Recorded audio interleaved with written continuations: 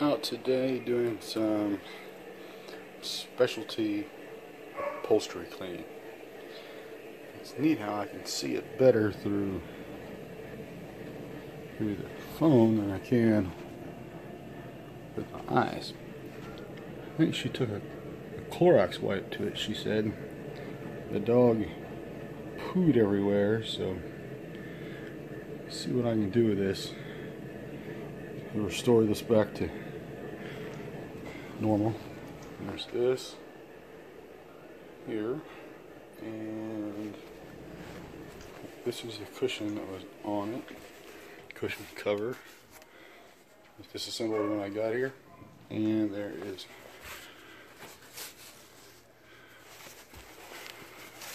a little bitty here.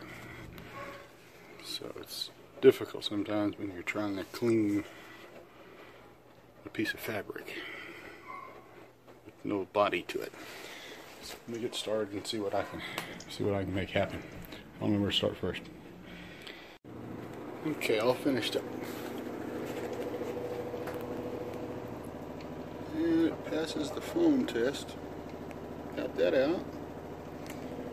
And over here, got that out. Yep. Over here, this is where that was setting, but this is where the problem was at right here. That's where the big poo stain was. Then there was this over here. That's gone. And the only thing is there was there was some in the carpet and that was all I could do with that.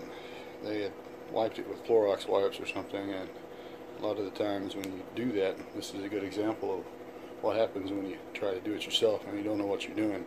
You lock it in. I had success with the couch because she left it alone and I didn't have good success with the carpet because she tried Clorox wipes on it and I locked it in. Anyway, that's just a testament to what kind of cleaning you can do without the use of steam or hot water extraction. Anyway, all done here.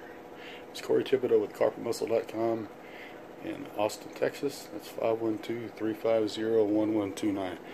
Call or text with questions.